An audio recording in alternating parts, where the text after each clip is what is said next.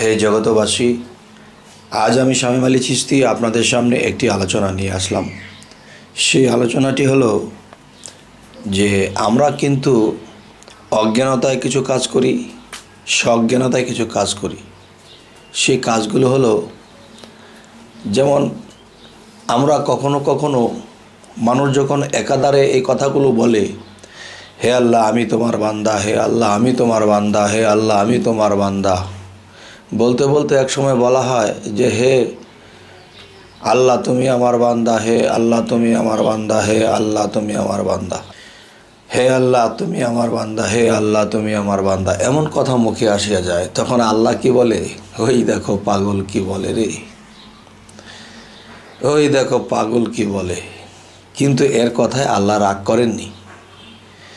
তেমনি করে মনসুর হেল্লাস কোনো একদিন বলেছিল, আমি আমার খোদা, আমি আমার খোদা।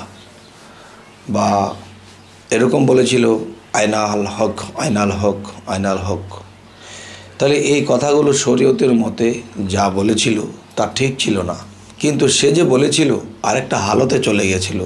তখন সে যে কি বলতেছে সে নিজেও বলতে পারে না। তাই আমি বলব যে এই কথাগুলোই নমরুদ বলেছিল যে, তোমরা সবাই আমাকে খোদা বলো। আমাকে খোদা বলে ডাকো। নমরুদ যখন মানুষের কাছে খোদা দাবি করেছেন, তখন কিন্তু এটা সজ্ঞানই করেছিলেন। কিন্তু সে জানে খোদা আল্লাহ আরেকজন আছে, এই পৃথিবীর সমস্ত স্রষ্টা আরেকজন আছে, কিন্তু সে নিজে নিজেকে খোদা দাবি করত। তবে তিনি যখন খোদা দাবি করেছিল, তখন তিনি পাপিষ্ট হয়েছে। আল্লাহর কাছে পাপিষ্ট হয়ে গেল। তবে তাহলে আজ আমি যে কথাটি বোঝাতে চাচ্ছি, সেটি হলো যে এই পৃথিবীতে আমরা বহু কাহিনী, বহু কিছু আমরা শুনেছি, দেখেছি। তো দেবেন, একটা বিষয়, এক, একজন দাদা তার নাতির জন্যে দেখা গেছে ফ্যামিলিগতভাবে তার নাতির জন্যে এই বড় বড় কার্টুন দিয়ে এই কমলাগুলো যখন আনা হয়েছে তখন কি হলো? তখন এই কমলা গাছের টাটকা কমলা এই নাতি দেখে তখন বলতেছে, আমার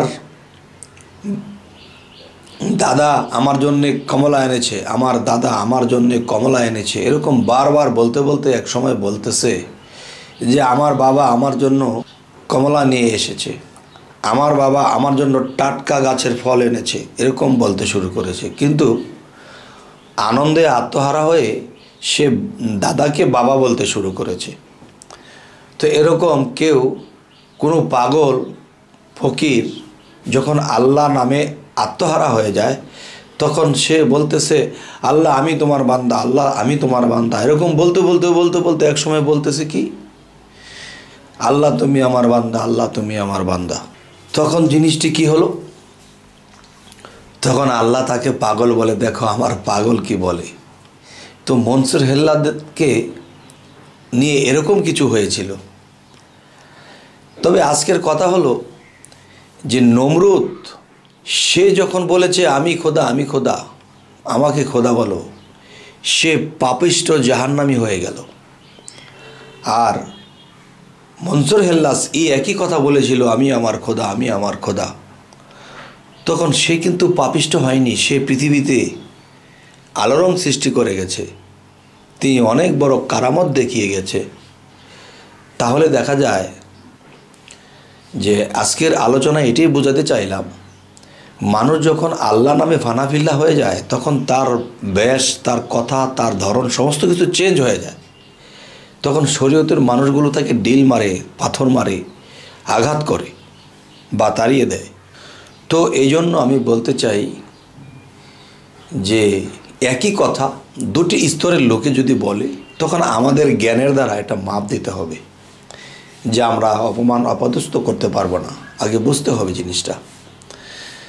তো আজকের যে বিষয়টি বোঝাতে চাইলাম, আপনারা কি বুঝলেন? কি কথাগুলো ভালো লাগল না অযুক্তি হলো? অবশ্যই আমাকে জানাবেন। তো আজ এই কথাগুলো এখানেই রাখলাম। সকলেই ভালো থাকবেন। আল্লাহ হাফিজ।